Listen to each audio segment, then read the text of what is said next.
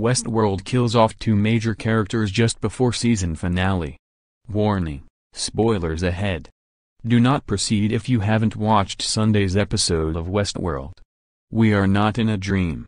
The season 2 penultimate episode of Westworld did not disappoint, and by that, we mean we're shook.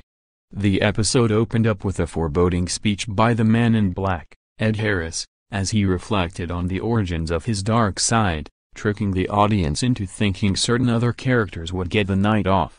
We couldn't be more wrong, but that's just Westworld at work. Here's what happened, we finally got a little backstory on the man in black's home life, and the destructive events that led to his wife, Juliet, Sela Ward, killing herself in that bathtub. Check back for E.T.'s interview with Ward later tonight. After putting his drunken wife to bed and admitting, I don't belong to you or this world. I belong to another world. I always have. He slipped his data card into a book in the bedroom and walked away for the night.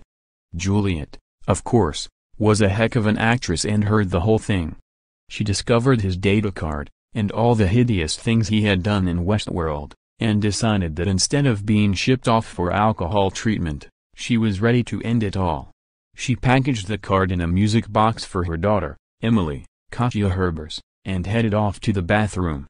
That data card came back into play in Westworld when Emily caught up to her father and tried to get them rescued.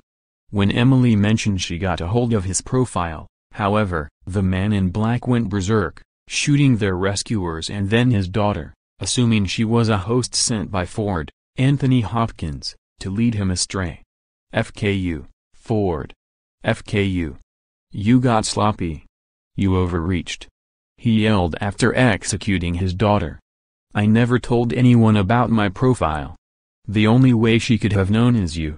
You gave yourself away, he continued, before finding his data card in Emily's hand, and realizing what he had done. Killing his daughter had the man in black questioning everything, including whether he was actually himself. Overcome by emotion, we thought the man in black might become the episode's next victim. But he wasn't. The last few minutes of the episode took us back to Dolores, Evan Rachel Wood, and Bad Teddy, James Marsden, who seemed to heartbreakingly understand everything that had happened to him. I remember the sound of their voices, the chill in the room. Mostly I remember you. I remember worrying you were cold. I wanted to reach out, touch you, protect you. From that day forward, I never wanted to leave your side, which is why this is so hard he said, drawing his gun. You don't want to hurt me, Teddy, Dolores warned before she realized it wasn't her Teddy was after, and we realized the parallels between Teddy and Juliet. I could never hurt you, Dolores. I'll protect you until the day I die. I'm sorry. I can't protect you anymore, he replied, turning the gun on himself and pulling the trigger. Eagle-eyed fans predicted we'd see Teddy's demise this season after catching a glimpse of him dead in the water with other hosts in the season premiere. But where does this leave us for the season finale? And will we ever reach the door? We'll have to wait until next week to find out. The season 2 finale of Westworld airs Sunday, June 24th at 9 p.m. ET slash PT on HBO. Watch ET's interview with Marsden below.